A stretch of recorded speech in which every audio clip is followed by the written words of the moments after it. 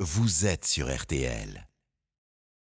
RTL Matin, Yves Calvi. 7h18, bonjour Olivier Bost. Bonjour Yves, bonjour à tous. Aujourd'hui, la justice dira si Nicolas Sarkozy est renvoyé dans l'affaire Big Malion devant un tribunal. Euh, Olivier, la multiplication hein, des affaires politico-judiciaires, comme on dit, vous rappelle une autre époque. Oui, l'effet de cumul est terrible. Regardez l'échiquier politique dans sa globalité et faites la liste des personnalités ou des partis qui sont sous le coup d'enquête, de mise en examen ou aux portes du tribunal. Il y a donc Nicolas Sarkozy aujourd'hui pour l'affaire Big Malion en 2012. Deux autres affaires le concernent encore. Le présumé financement par la Libye de sa campagne en, en 2007 et Monsieur Bismuth, la tentative de corruption d'un magistrat. Voilà pour l'UMP devenu les Républicains. L'ex-Front National, lui, le Rassemblement National, est poursuivi pour des emplois fictifs au Parlement européen. Marine Le Pen et 14 de ses proches sont mis en examen.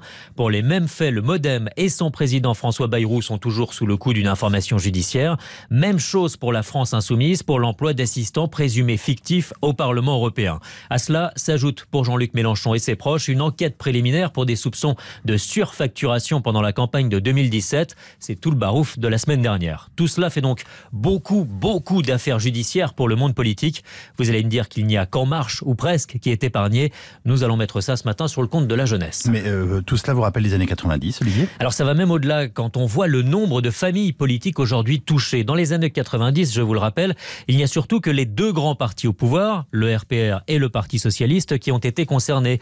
L'affaire Urba, l'AMNEF, ELF pour le PS, pour ne citer que quelques affaires, les emplois fictifs de la mairie de Paris, les HLM, les fausses factures pour le RPR. Et puis, il y a ceux qui ont fait de la prison ferme, Pierre Botton à Lyon, Alain Carignon à Grenoble.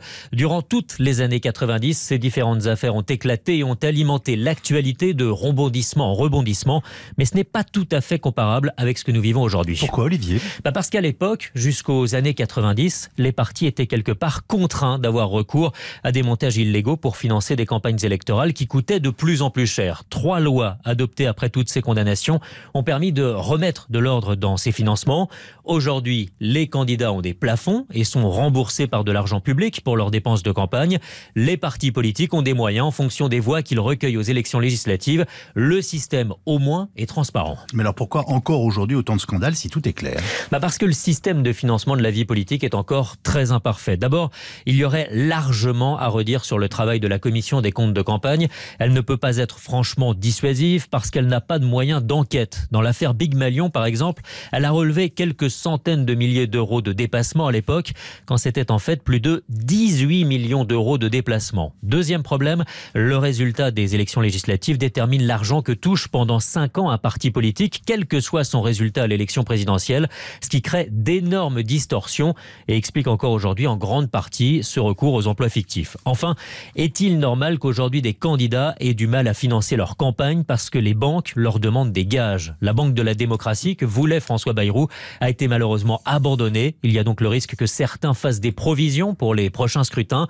Il ne s'agit bien sûr de trouver des excuses à ceux qui vont se retrouver au tribunal, hein, mais de dire qu'aujourd'hui, la loi reste insuffisante.